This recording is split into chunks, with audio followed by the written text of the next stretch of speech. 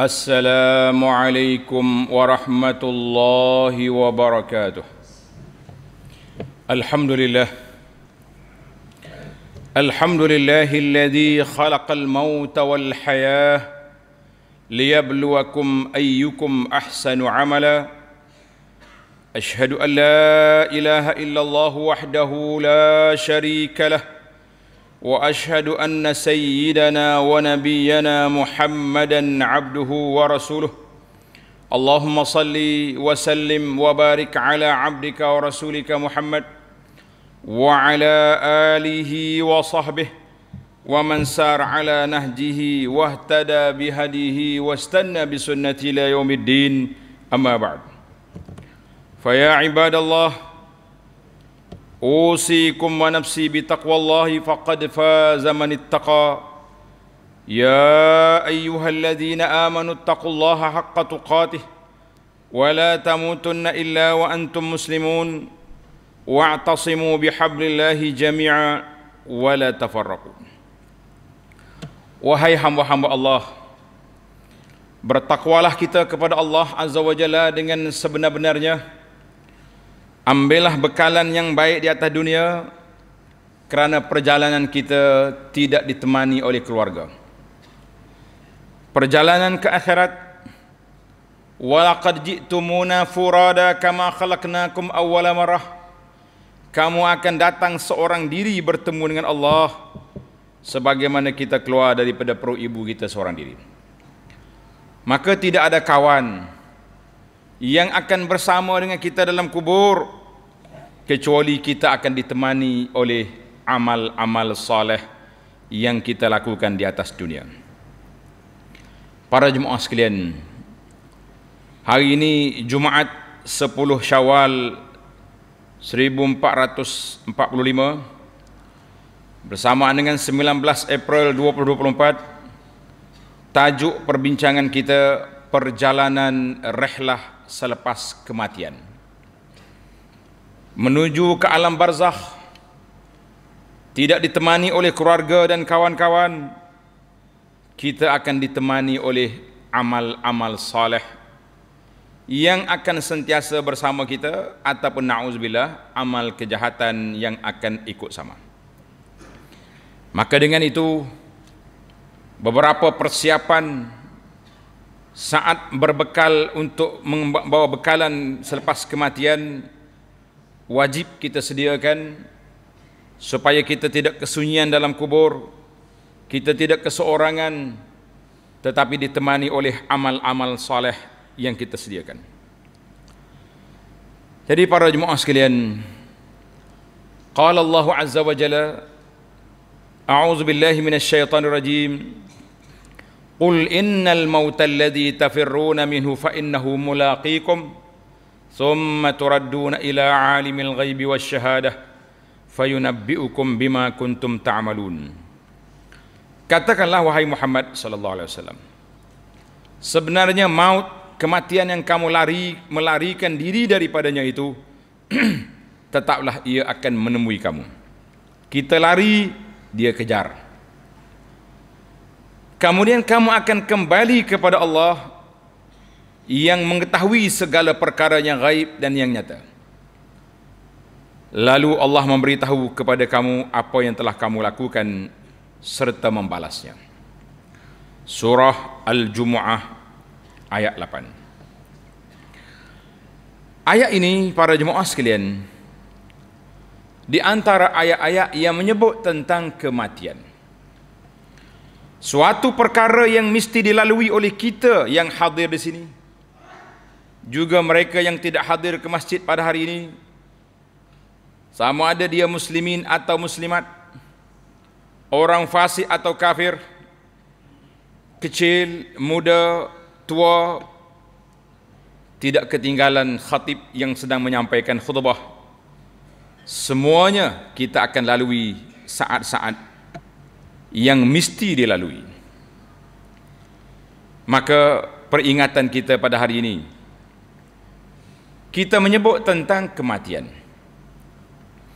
Kerana terkadang timbul anggapan dari sebahagian masyarakat menganggap kolot tak ada isu isu basi atau isu lapuk bila membicarakan persoalan kematian kerana menurut mereka manusia yang mengingati mati akan mundur ke belakang tidak dapat menyahut cabaran di dunia ini. Itu sebahagian orang. Ada orang ni bila dia tanya tajuk apa ustaz? Ceramah kita kuliah tajuk apa? Kebetulan pula kuliah di kepada para ahli-ahli korporat yang kaya raya kita kata tajuk yang sesuai untuk tuan-tuan ni iaitulah mengingati kematian terkejut pihak penganjur. Hei mana boleh? Kita nak membina negara nak bina empire nak bina tu bina ni ingat kemati tak jadi? Itu sebahagian daripada salah persepsi. Salah anggap sebahagian masyarakat bila sebut hak mati tak boleh buat kerja. Pada saat itu dalam perbincangan kita kata tuan penganjur dalam syarikat kita dalam bisnes kita ni ada masalah ke tidak? Oh banyak masalah. Apa punca masalah? Puncanya pekerja-pekerja kita ni ambil duit pecah amanah ponteng macam-macam lah.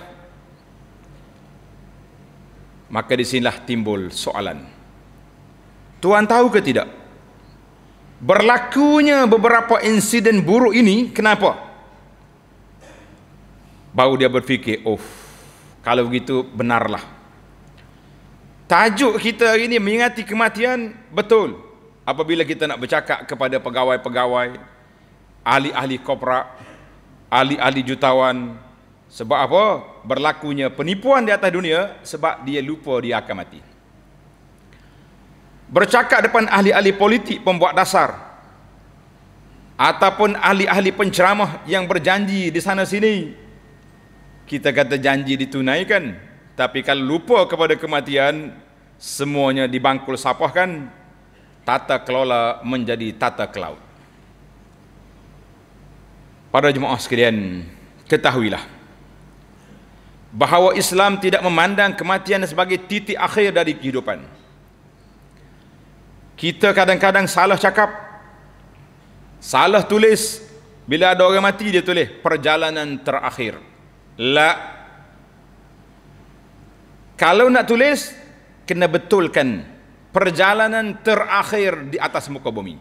Sahih. Kalau perjalanan terakhir je, titik no. Sebab kenapa? Kerana bila kematian itu merupakan pintu pertama menuju ke kehidupan alam barzakh, alam transit yang kita akan langsung ke akhirat yang panjang entah berapa lama kita berada dalam kubur. Maka kesilapan kalau ada orang mukmin kata orang mati perjalanan terakhir la kita kata betulkan ayat perjalanan terakhir atas dunia ataupun di atas muka bumi kita kata na'am banyak kadang-kadang tulisan-tulisan kita kata-kata kita tidak tepat mengikut fakta mengikut syariat. Maka kematian adalah merupakan suatu pintu dari pintu-pintu menuju kehidupan lain dia panggil ke alam barzakh iaitulah alam selepas mati. Tak kira lah ada setengah orang panggil alam kubur. Kalau kita kata alam kubur ada je orang tak masuk kubur. Orang ni mati dimakan oleh harimau ditelan oleh ikan. Dia tak masuk kubur dia masuk dalam perut ikan. Ha, tapi dia kita namakan alam barzah ni dengan nama alam kubur. Kenapa? Sebab biasanya orang mati kita akan tanam dalam kubur. Fa amatahu fa akbarah amatahu fa akbarah bila sudah mati masuk kubur. Kerana eh, adegan-adegan kehidupan manusia ini belum diadili dan belum diberi pembalasan yang setimpalnya selagi tidak mati dan tidak di alam akhirat.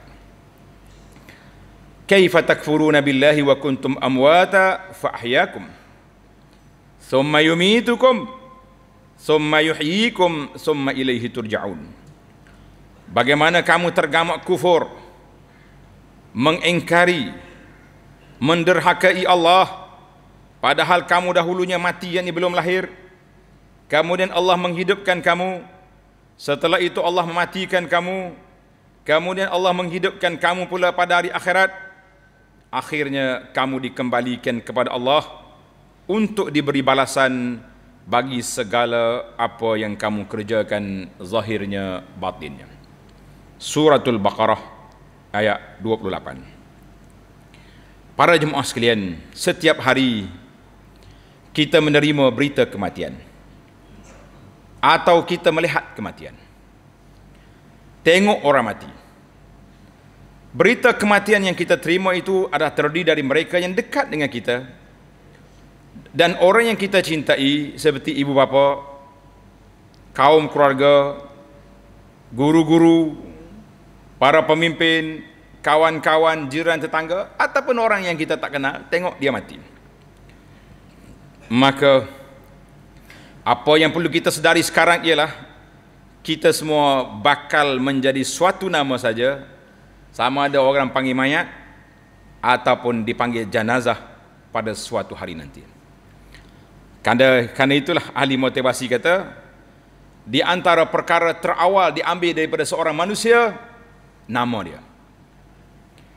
Bila orang mati orang mari cari rumah dia dia tak tanya dia rumah Pak Mak.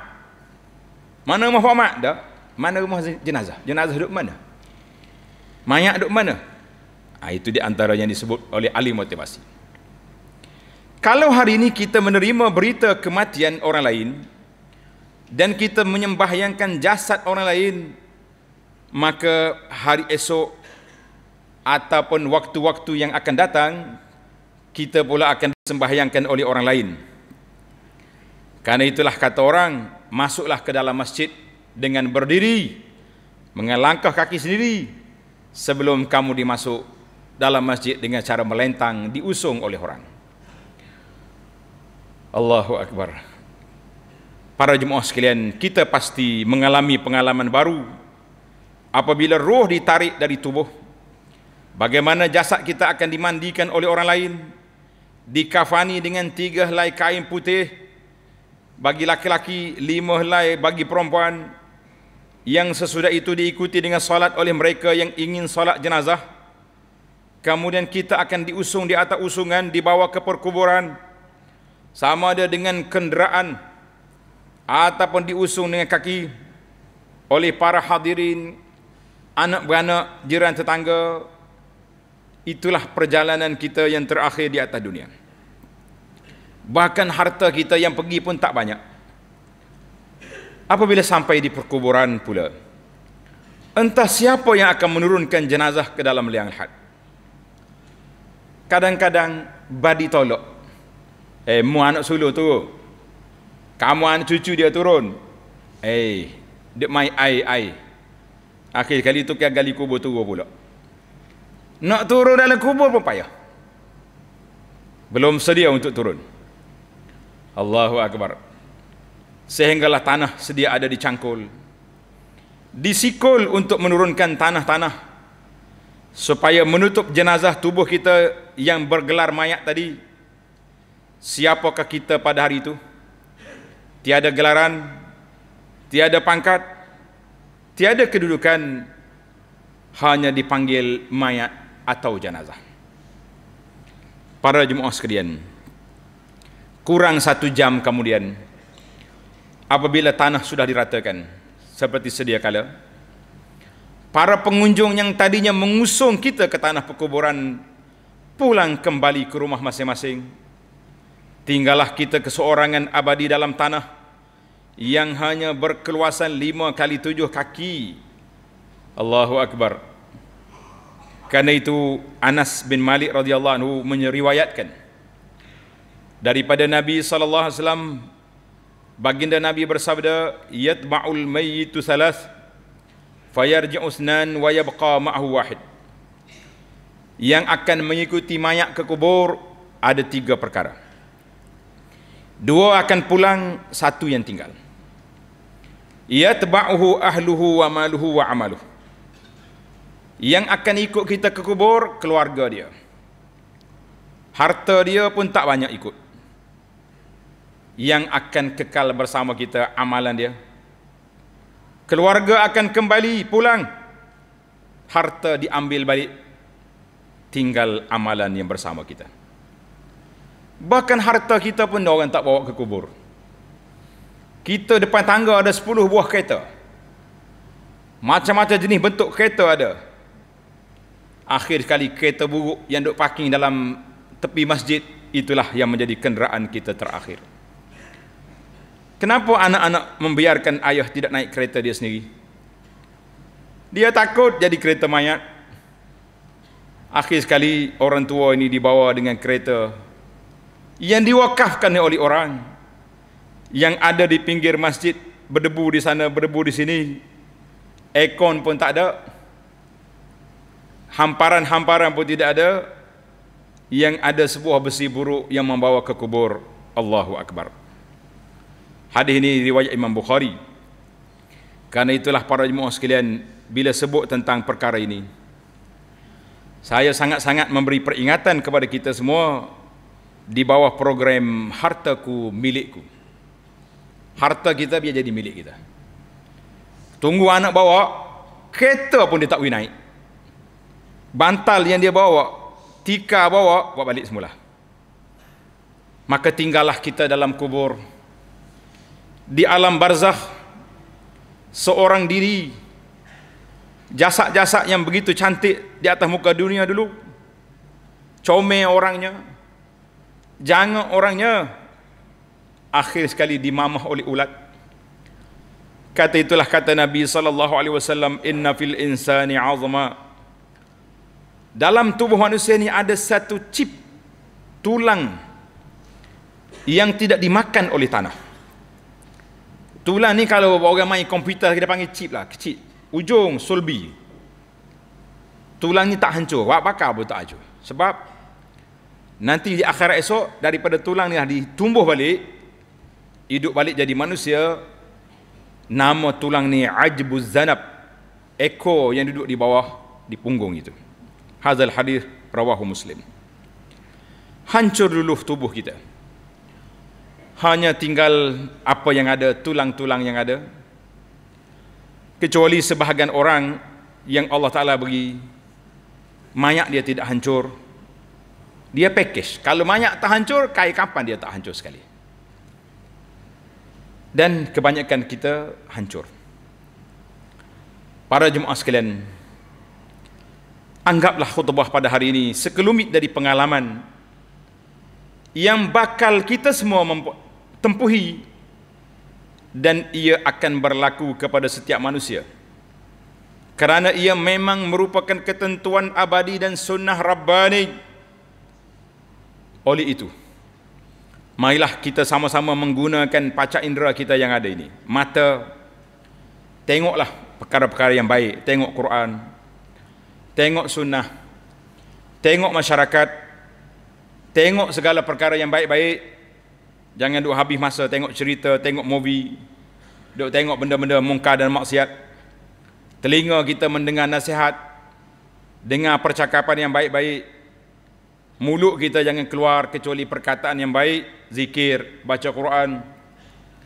Nasihat kepada orang, percakapan yang baik, tangan, kaki dan lain-lain anggota gunakanlah ke arah kebaikan sebelum anggota tersebut hancur menjadi tanah dan dia akan dipersoalkan di hadapan Allah Azza wa Jalla. Lihat dan peganglah tangan kita sekarang. Adakah tangan ini bergerak untuk dakwah untuk kebaikan bergerak menghitung tasbih nama-nama Allah hitung selawat ke atas Nabi sallallahu alaihi wasallam atau tidak bergerak jari kita kecuali duk share benda-benda karut. Sama ada karut dari sudut berita-berita palsu karut dari sudut berita-berita keagamaan yang tidak sahih karut membuat fitnah kepada orang semua kita akan dipertanggungjawab di hadapan Allah Azza wa Jalla. Allahu Akbar. Gunakanlah harta anggota kita sekarang ini untuk mengambil yang hak supaya kita tidak menyesal di dalam kubur dan di akhirat nanti para jemaah sekalian.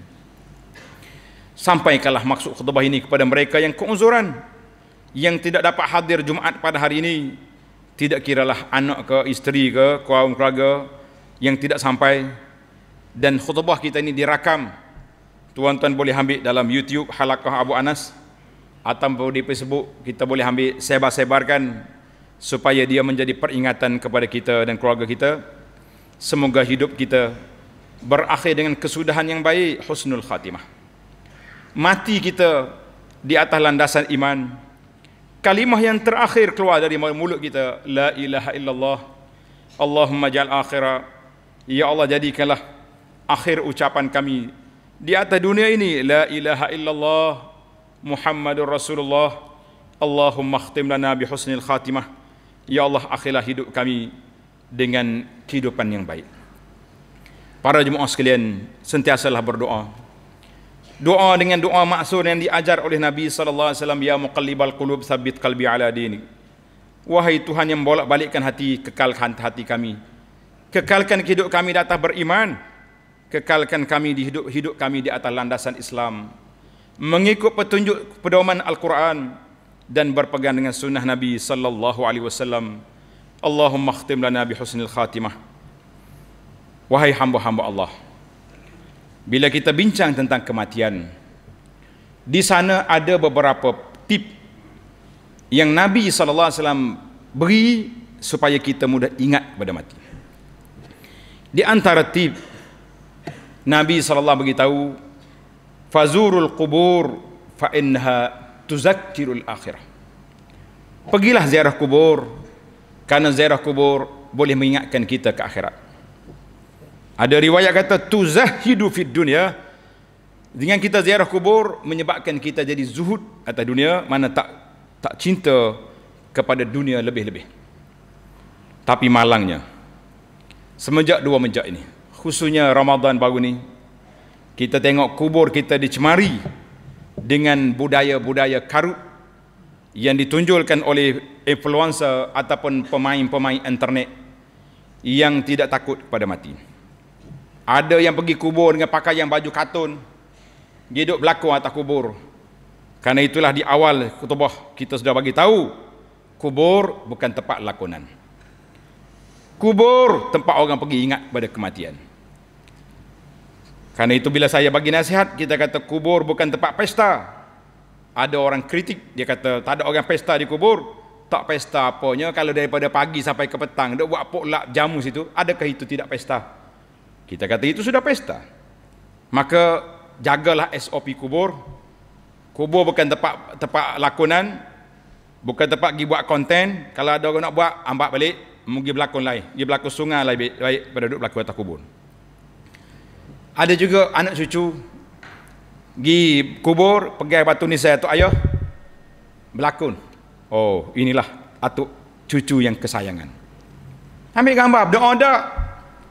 KJ apa lagi nak pergi kubur tu tiga batai dah kamera bawa duk pacak depan duk doa atas kubur ayah mahadha sunnah apa yang kamu belajar ini ni sehari dua ni pula bahasa jenis tulis dialog.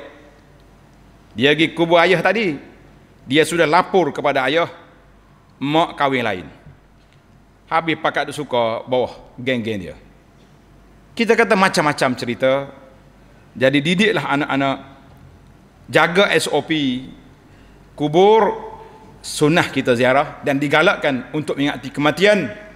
Bukan pergi buat konten bukan pergi buat menulis tulisan-tulisan yang karut kerana itulah Nabi SAW larang buat binaan di atas kubur dilarang oleh Rasulullah SAW la tabnu alal kubur wala tujassis tujassis maknanya buat bangunan semin di atas kubur. Dan insyaAllah mudah-mudahan pihak pengurusan kubur di mana-mana saja mengambil cakna dengan hadis Nabi sallallahu alaihi wasallam itu dan juga dengan dalam kitab fiqh Syafi'i sendiri menyebut tentang larangan-larangan buat binaan atau kubur tak kiralah sama dia dia bentuk haram atau larangan yang lain tapi jagalah SOP dengan baik. Satu lagi pesanan anak hari ini kita sudah 10 Syawal. Bermakna depan mata kita ada 29 eh, 19 hari lagi. Tuan-tuan dan puan-puan yang belum lagi puasa 6 dipersilakan. Duk tunggu rumah terbuka siapa ketua tak habis. Kita rumah terbuka kita pergi Tapi kita tak payah makan, kita bawa tupperware untuk buka puasa. Jadi ambillah peluang yang diberi. Besar pahala siapa yang berpuasa Ramadan kemudian diikuti dengan puasa 6 Syawal kana qasiyamid dahri. Dalam tazkirah yang saya dah sampai di masjid kita ni, ulama mengatakan level dia diberi pahala puasa setahun full. Kalau nak kira puasa hari lain pun ganti 10 juga tapi tak sama dengan puasa sittatu ayyamin syawal pada bulan yang mulia ini. Tuan-tuan yang sudah puasa, faliyahmadillah. Tuan-tuan dan puan yang belum puasa, faliyabda mula sekarang sebelum kita diusung ke kubur atau sebelum berlalunya Syawal yang hanya ada 19 hari ataupun 20 lagi, itulah masa yang cukup singkat. Para jemaah sekalian pada hari Jumaat dan hari-hari yang lain, banyaklah berselawat ke atas Nabi sallallahu alaihi wasallam kerana perintah Allah dalam Al-Quran, "Inna Allah wa malaikatahu yusalluna 'alan nabiy." Ya ayyuhalladzina amanu sallu alaihi wa sallimu taslima.